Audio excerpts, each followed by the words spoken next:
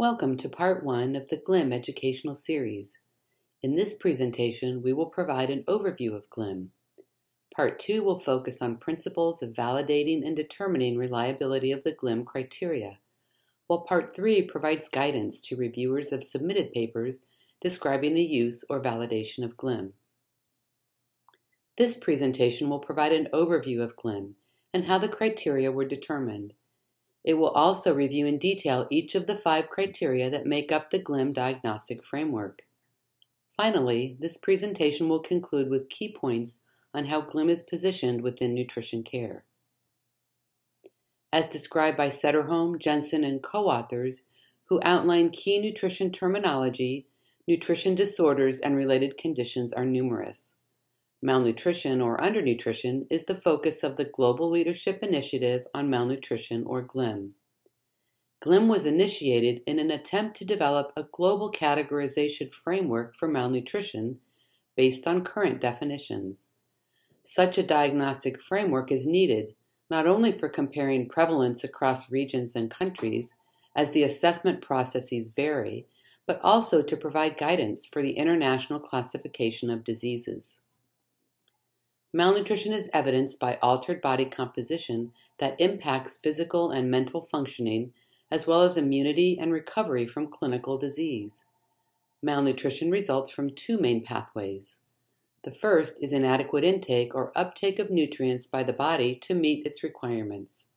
The second is inflammation that results in increased requirements as well as impaired utilization of nutrients. This figure provides an overview of how malnutrition can develop.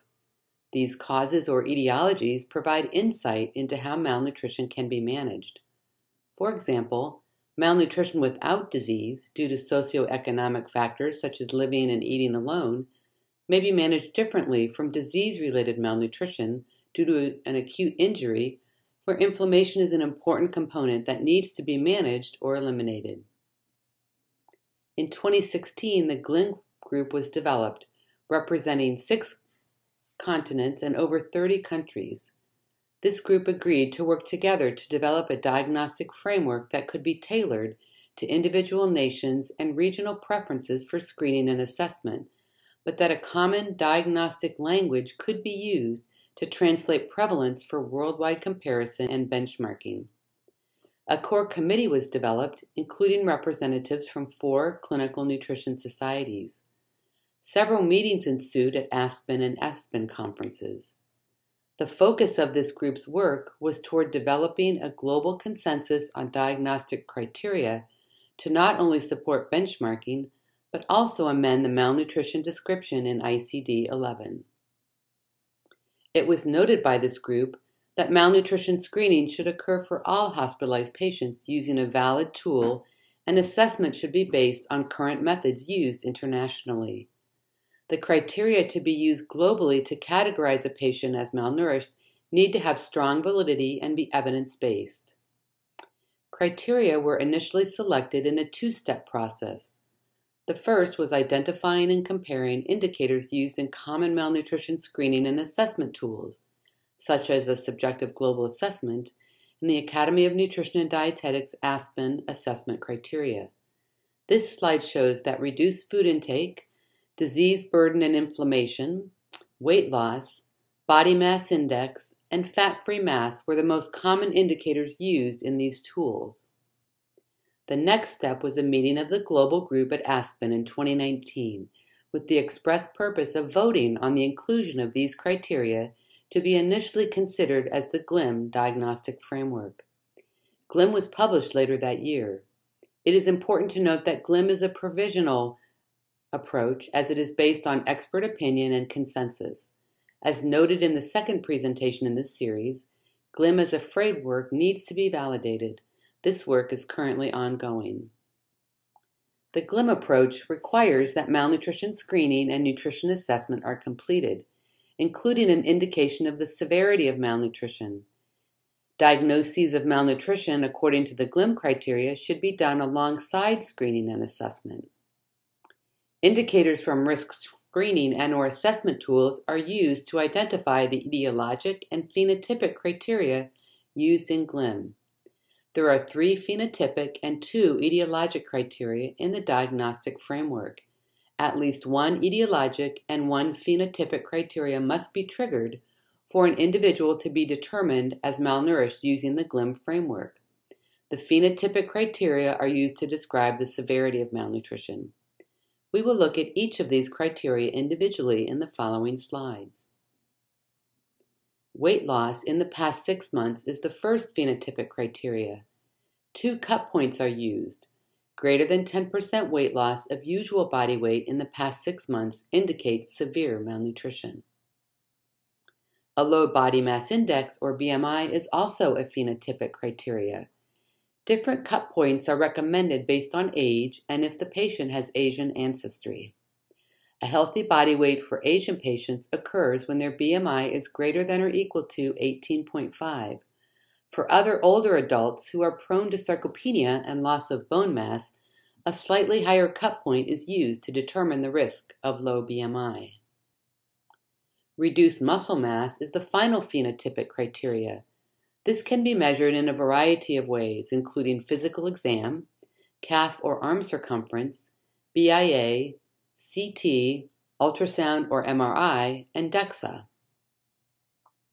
A variety of cut points from the literature have been suggested when using these criteria to determine reduced muscle mass.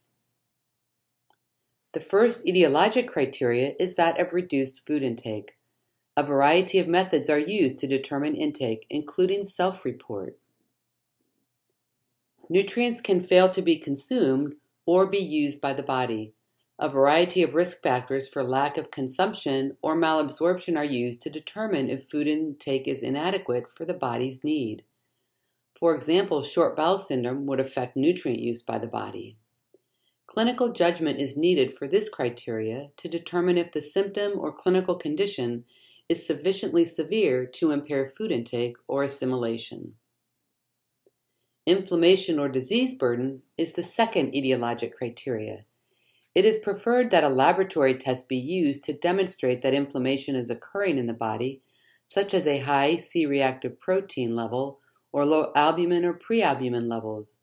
Alternatively, occurrence of a chronic disease such as chronic organ failure, chronic obstructive pulmonary disease, or active cancer can be considered an indicator of mild to moderate body inflammation.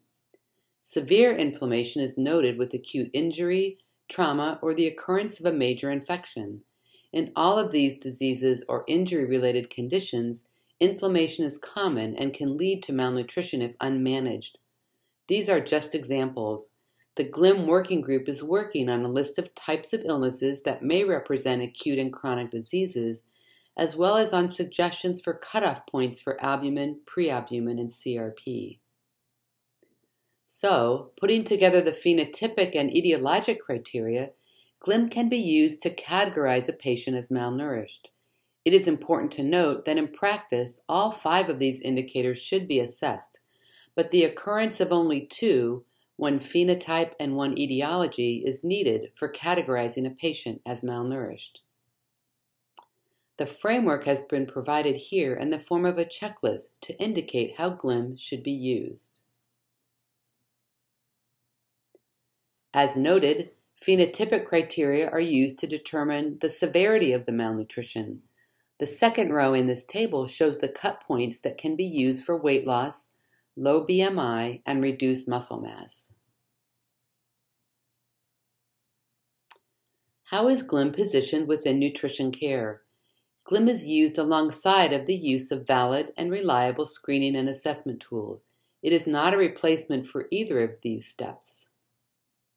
GLIM is not considered an assessment, it is not sufficiently comprehensive to replace a standardized assessment tool or a comprehensive nutrition assessment.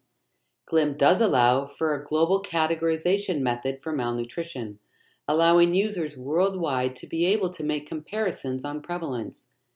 It is important to note that GLIM is not a new definition of malnutrition, but rather a framework based on globally accepted definitions of malnutrition. GLIM is not designed to monitor malnutrition and does not replace valid and reliable screening and assessment tools or methods for monitoring. However, it still is important to monitor if GLIM status is changing by treatment or disease category.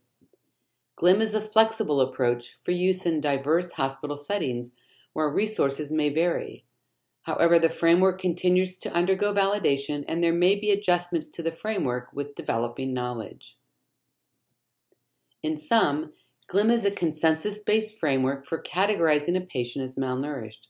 GLIM is to be used alongside current valid screening and assessment tools and methods that guide treatment decisions. GLIM is based on the leading screening and assessment tools currently used. Three phenotypic and two etiologic criteria are used to determine if a patient should be categorized as malnourished. Research based on retrospective and prospective data is needed to validate GLIM. Thank you for your interest in GLIM.